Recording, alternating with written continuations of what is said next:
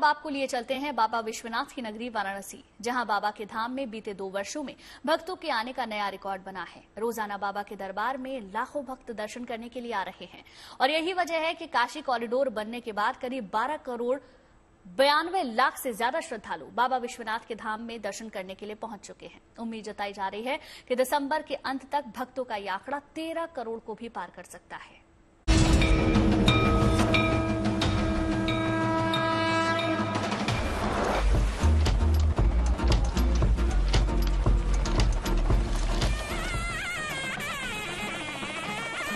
बाबा विश्वनाथ की नगरी वाराणसी में जब से ये काशी कॉरिडोर बनकर तैयार हुआ है, तब से आस्था का सैलाब यूँ ही हर रोज उमड़ता जा रहा है।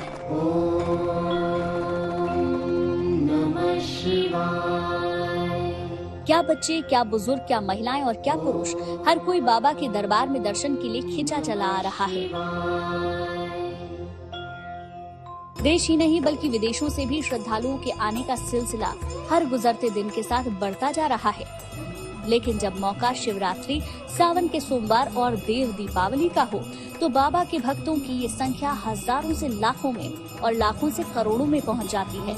यही वजह है कि इस पवित्र धाम में आने वाले श्रद्धालुओं की संख्या ने कीर्तिमान रच दिया है।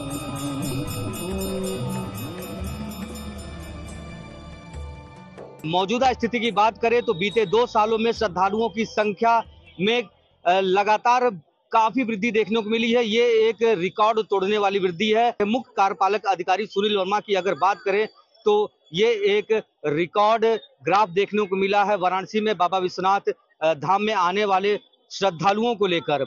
और सुनील वर्मा के अनुसार दिसंबर लास्ट 2023 तक ये संख्या 13 करोड़ के पार हो जाएगी। काशी कॉरिडोर का लोकार्पण 13 दिसंबर 2021 को प्रधानमंत्री नरेंद्र मोदी ने किया था, जिसके बाद यहाँ आने वाले बाबा के भक्तों की संख्या साल दर साल बढ़ती ही चली गई। आंकड़े भी इसी बात की गवाही दे रहे हैं 13 दिसंबर 2021 से 31 दिसंबर 2021 तक 48 लाख बयालीस हज़ार सात सौ भक्तों ने बाबा विश्वनाथ के दर्शन किए फिर जनवरी 2022 से दिसंबर 2022 तक सात करोड़ ग्यारह लाख सैतालीस हज़ार श्रद्धालुओं ने दर्शन किए। वहीं जनवरी 2023 से 6 दिसंबर 2023 तक पाँच करोड़ बत्तीस लाख पैंतीस हज़ार लोगों ने बाबा के दरबार में हाजिरी लगाई। यानी काशी धाम का विस्तार होने के बाद से अब तक 12 करोड़ बानवे लाख चौबीस हज़ार सात सौ भक्त बाबा के दर्शन कर चुके हैं। इन श्रद्धालुओं में कोई रोजी रोज़गार की तरक्की के लिए बाबा से आशीर्वाद मांगने आता है। तो कोई परिवार की खुशहाली के लिए। तो किसी ने अच्छे स्वास्थ्य और किसी ने संतान प्राप्ति के लिए बाबा के सामने अपनी झोली फैलाई है। ये 12 करोड़ आने का ये है कि यहाँ जो भी अपना इच्छा लेके आता है पूरा इच्छा उनके पूरा हो जाता है। बहुत शांत यहाँ आके बहुत शांति मिलती है हर दुख इंसान का पूरा हो जाता है। यहाँ सुविधा बहुत अच्छा है हर चीज़ को सिस्टमेटिक है। पुलिस ने हर चीज़ कंट्रोल करके रखा है कोई किसी लाइन में घुसने नहीं देते प्रॉपर सब हो रहा है एकदम। इधर बहुत अच्छा लगता है। लोग वहाँ से एंजॉय भगवान के दर्शन करने आते हैं। क्या लगता है कि आने वाले टाइम में जो संख्या है जो नंबर है श्रद्धालुओं की वो और बढ़ेगी? बढ़ेगी। काशी विश्वनाथ कॉरिडोर बनने से पहले भक्तों को तंग गलियों की वजह से मंदिर तक पहुँचने में दिक्कत होती थी। एक समय में कम लोग ही दर्शन कर पाते थे और दर्शन के लिए काफ़ी देर तक कतार में खड़े होना पड़ता था। मगर जब से काशी विश्वनाथ कॉरिडोर तैयार हुआ, तब से बाबा विश्वनाथ के दर्शन भी सुलभ हुए हैं और लोगों को ज़्यादा देर तक लाइन में इंतज़ार भी नहीं करना पड़ता है।